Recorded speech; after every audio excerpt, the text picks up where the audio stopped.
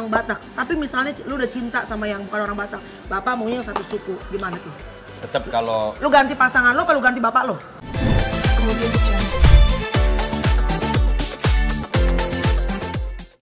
Silakan. Ya ampun. Bang Otman, kenalin ini adik gua paling bungsu, Bang. Ya. Masa kakaknya seng lotak, adanya seng kandang ayam. Seng asbes. Oh, hadiahnya pakai pergi ke anak gua gimana sih? Hei, hei, Seng Lota, lu tahu aja sih mana yang muda? Ini yang ki- aki-aki yang menang. Oh gitu ya? Kamu sini. Ah gimana Nggak aku ya? nggak enak. Dia nggak mau lagi. Nggak mau dia. Mau. Oh katanya abang udah nggak enak gitu. Enggak, kata dia gini, si Frank mah masih bawa minyak wangi. Iya. Kayak bawa minyak urut. Oke, Sengelota, aku mau nanya. Silakan. Kamu dari negara mana? Aku dari Uzbek. Uzbek.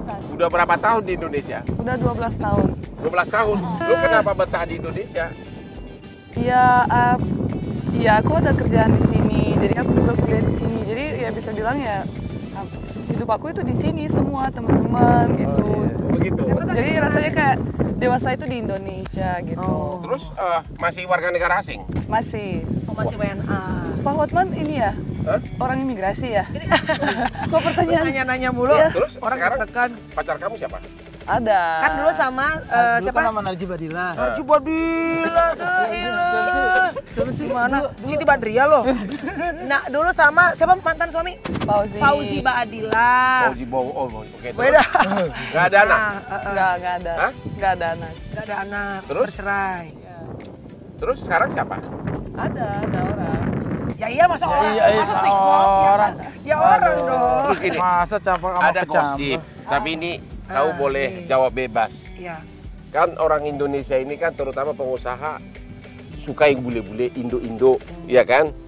Ya, apa- kalau kayak gini mah udah deh, nggak usah deh. Udah nunggu nih. Oke. Gue kenal lagi sama dia. Katanya kamu itu banyak diminatin pengusaha-pengusaha, benar nggak sih itu? Oh ya, nggak nggak tahu, nggak benar Dari pengalaman kamu gitu. Nggak, Atau- aku nggak pernah ya so far ya alhamdulillah aku nggak pernah yang tawaran yang aneh-aneh. Nggak pernah dapat bookingan ke Surabaya nggak? Nggak, Atau nggak pernah, nggak, nggak, nggak kayak gitu-gitu nggak. Soalnya- Iya, that's why soalnya- aku ada manajer dan dia tahu tugasnya dia itu seperti apa, dia harus. Pak VA kemarin juga ada manajer nih bang. Iya, soalnya yang yang ke Surabaya yang model coklat-coklat aja 80 juta. Apalagi yang putih gitu. Lu bisa 200 juta loh. Kenapa? Sayang kan kalau 200 juta lima kali seminggu, 1 M seminggu. Gila dapat Sebulan, Hah? Dapat kalah apa? pelawak. dapat Alphard. Nah, orang kayak gini kau bisa bikin jadi pesuruh kamu. Iya, berarti kalau segini 150 juta, saya nabung dulu 4 tahun kali. Mau pakai cewek nyicil. Jadi itu gosip nggak benar ya? Gosip nggak benar. Hah? Nggak benar, nggak benar. Nah, sekarang kamu tipenya laki-laki yang gimana? Lu suka Indonesia ya? Suka Indonesia? Iya. Ini sananya dipilih. Satu, Eh, dua, dua, tiga. Aku udah ada di rumah. Oh, udah ada. Aduh, Setia. setia Eh, ya. tapi kamu suka yang Iya. tinggi kayak Fauzi Badila gitu ya? Fauzi Badila nggak tinggi itu dia di dia kan di bawah aku. Menurut kamu apa terutama kelemahan laki-laki Indonesia? Kurang romantis, terlalu lemah fisiknya sehingga Kurang royal? kurang royal. Kalau orang cewek Uzbekistan itu Rusia ya? Eh, dulu masuk Iya, Uni Soviet ya. kan gede-gede, bagus kuat-kuat, sehat-sehat. Apakah karena kami itu cowok Indonesia itu nggak mampu melayani terlalu lemah atau gimana? Nggak, pengen tahu aja. atau Karena belanjanya. kalau kalau cowok Rusia di Bali, lu gila badannya gede-gede. Badannya benar keren-keren itu saya nggak bohong, keren-keren badannya. Ya, gi- gimana? Apakah? nggak nggak bisa samain juga ada orang ya ada yang mungkin badannya kecil orang Tapi Indonesia kuat kan gitu. juga beda-beda ada yang pendek ada yang tinggi Ada yang apa? Ada yang apa? Kok pendek, pendek ngomongnya ke aku juga. Aku indah saja. kebetulan eh, pacar aku dia itu tinggi lebih tinggi dari Oh, aku tinggi. dan dia juga orang Indonesia Orang Indonesia juga. Iya. Suku apa? Orang apa? Jawa dan Manado Coba cari orang Batak deh, gigit loh. Wah, benar tuh. Kasih tau bang. Ah, terus kenapa kenapa di Jakarta banyak benar cewek dari Rusia termasuk bekas Uzbekistan, satu lagi apa? Kazakhstan. Enggak juga sih semua negara pasti ada cewek cantik Ya bukan kalau di Indonesia kan. Kalau di Indonesia saingan kamu paling cuma tampak kayak gini. Ya pasti kau menang lah. Kalau di ya Indonesia, kan? yang jelek aja bisa ngetop. Yang penting viral tuh. Nah, kalau Indo laki-laki itu paling suka begitu ada Indo dikit langsung udah Demen langsung kalau di bangga ke Indonesia. jalan. Kamu gimana? Memang benar?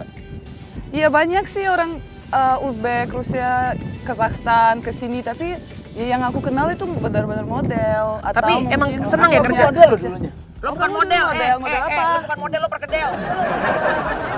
Coba kau yang nanya sekarang. Eh, kalau kalau aku boleh boleh nanya gitu ya. Eh, kalau seandainya kamu disuruh memilih lagi untuk menikah dengan orang asli dari negara kamu atau sama yang asli Indonesia? Nggak, aku kayaknya akan menikah sama orang Indonesia karena udah sayang sama Oh dia pacar senang. aku gitu. Iya.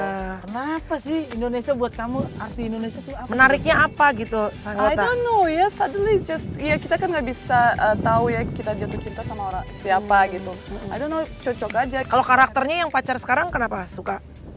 Baik, terus kalau aku ada masalah mah kalau ada mau atau pasti baik. apa, Ya awal-awal baik. Ah, udah dapat maunya udah dulu juga baik. yang kamu pisah itu pasti waktu Baik. awal-awal udah baik, romantis. Iya. Tapi begitu sudah selesai, eh bau Baik. lah, Berarti cari tipe gitu. aku, aku awalnya jahat. Oh iya? Kalau udah dapet maunya, aku jadi baik. Nih kalau kayak Frank gini, ini tipe kamu nggak nih? Ini kan dia udah punya bini, udah punya bini. Kalau ini deh, ini belum punya bini. Tipe kamu bukan? Sebenarnya tipenya dia, tapi nggak mau punya mertua kayak dia. Mertua kayak gini suka menyusup loh. Udah banyak pertanyaan mertua juga. tapi nyusup juga gitu kan. Frank, Bener. Frank, udah. Bagi dikit Frank. Punya anak tapi dicemilin juga. Aduh, cabe deh. Oke, Bang, lapar dong. Ya? Ajak si Kota makan yuk. Ya, yuk makan yuk. Lu- Ya. Eh, lu- kamu nggak- kamu emang suka makan Indonesia juga? Ma, suka banget. Sukanya apa? mah, um, rendang. Oh, rendang. Ya. Sekarang makan siang dulu bersama dengan tamu-tamu Hotman Paris. Jalan-jalan. Saya Tapi nggak- dia enak bang. Pas dulu naik pesawat di Lion kan teman-teman lain gue cerita. Dia enak. Kalau naik harganya setengah harga. Sangka anak kecil kakinya pendek soalnya. Akhirnya dikasih. Dikasih. Eh, mungkin dia dengan belas kasih kali ya, nggak nggak tega gitu Tapi tidak aja dia bohong kasih nomor palsu. Tapi Enggak benar, benar, benar. Tapi memang dia mau sama kamu juga ya? Enggak, akhirnya kaptennya gini aja Mas Naji, nomor teleponnya tinggalin deh. Nanti biar dia yang hubungin. Antar dibuang di langit, yang nelpon Gatot Kaca. Akhirnya akhirnya ternyata pas gua kasih nomor telepon saya, pas eh, nggak lama tuh di Surabaya jam 9 malam ada SMS zaman itu. hmm. Mas acara apa di Surabaya? Tadi aku yang Asik. Gila. Jadi cewek tuh gitu bang, peres-peres nggak mau tapi ternyata juga demen juga. Jadi terus berapa lama sesudah itu baru kamu lamar dia dari istri? lama nunggu dia sadar bang. Nyadarinnya itu lama. Ah, Tunggu sampai dia itu sampai sekarang juga istri saya kalau sholat doanya lama saya tepak. Jangan kamu, kelamaan. kamu jangan kelamaan ntar dapat hidayah. Gitu. Ya berapa lama yang benar? Akhirnya dapatnya. Dua tahun setengah. Apa kau rayu dengan uang, dengan hadiahnya mau, akhirnya mau sama lu walaupun tampangmu kayak gini? Abang kalau ngomong tampang saya kayak pakai urat deh bang. Bos baru dia banget Oh, oh, oh. Makanya susah banget nyari tamu di sini susah. Gitu Enggak, dipilitin. jujur aja deh. Kita kita nggak usah bohong deh. Ya, coba dua- saya ngelota coba. dua- Kalau lu dihadapkan cowok kayak gini coba. Mana mungkin kau Iya, ada perasaan sedikit pun coba. Abang kita kan nggak tahu mungkin Frank, dia baik aduh. orangnya, terus Kalau kamu juga gimana? Lu, lu udah kayak gitu ada rasa nggak kayak gitu? Coba jujur deh. Dari kulitnya aja udah nyebalin coba. Oh nggak apa-apa, jujur kadang-kadang nyakitin. Akhirnya lu rayu dengan uang nggak? Ya, yang enggak lah bang, duit saya nggak ada bang, tampang nggak ada bang. Ah, Saya itu pakai kerjaan bang.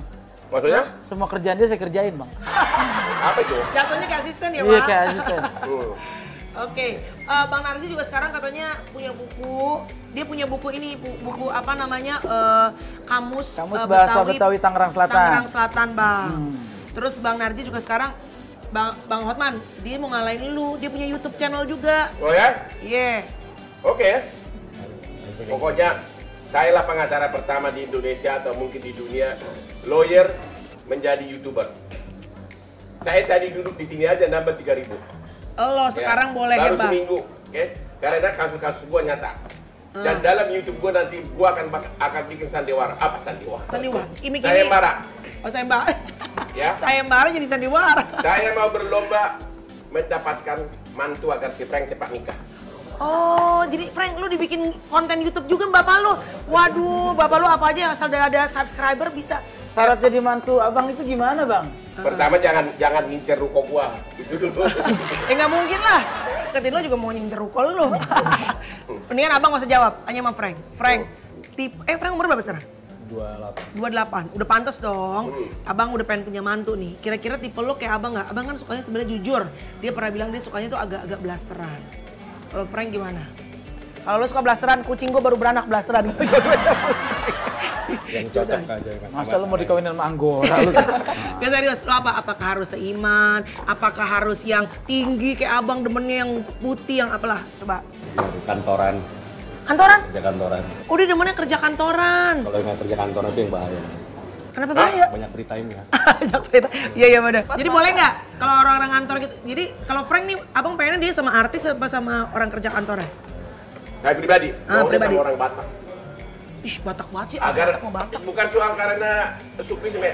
pada saat nikah langsung keluarganya datang menortor gitu. Sat, sat, Itu sat, loh. sat. Iya, iya, iya. Langsung datang seribu orang keluarganya. Tapi kalau dapat nyantar artis Dan atau kata Paknya bule dari Uzbek- Uzbekistan cuma belum tentu ada yang datang satu ekor pun.